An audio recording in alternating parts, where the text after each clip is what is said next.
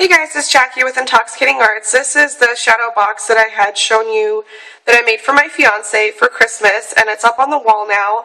And the reason I'm showing it to you is because this 8x10 picture that I used in here, I've done something else with that, and so I wanted to show that to you. Um, this shadow box is 12 by 14 inches, but it looks tiny on this big wall that I need to do something with. So anyways, um, I'll show you what I've done with this picture in just a second. Let me just move you over here without making you dizzy. So I'm in the process of basically designing my bathroom. We've been in this house for about a year and a half and we've done basically nothing.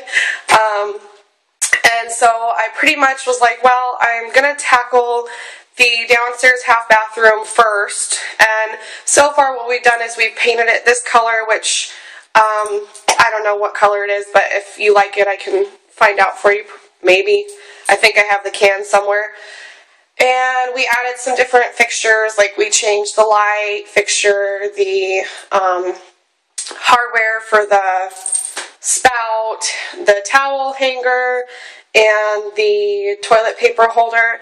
So we changed all that to like a brushed nickel and painted it, and that's pretty much all we've done in here. And then I decided that I wanted to have this bathroom be like a monochrome theme, so you know, just black and white, and then this wall color here, so it really does focus on making your eyes see.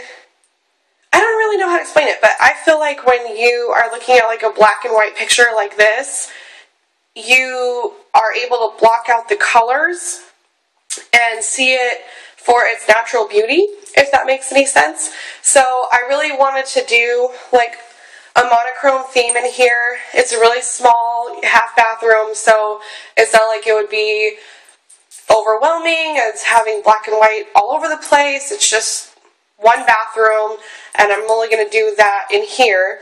So anyways, basically what I did is this is that same exact picture you saw over there, except for now it's on a faux canvas and it is, I want to say this is 24 by 36 inches and that's the biggest size that Walmart offers for their faux canvas and it was $30 and I already had those pictures on walmart.com so it was extremely easy to do it um, I just, you know, clicked a couple things, paid for it, picked it up about four hours later, and it was good to go. So um, they do wrap it around, so there's like the wrap around, goes all the way around there.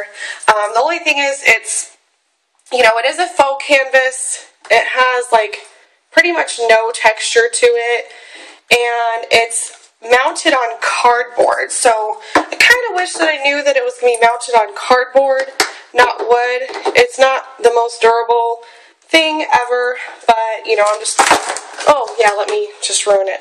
Anyways, um, well, it survived that, so it's somewhat durable. But anyways, I'm just gonna, you know, mount it on the wall right above the toilet, right there, and that's where it's gonna stay. But I wanted to go ahead and share that with you guys. Um, this was originally obviously a color picture and they had a thing on their website to make it black and white. You can make it sepia, you can make it blue, red, whatever you want to do, and you can crop it, you know.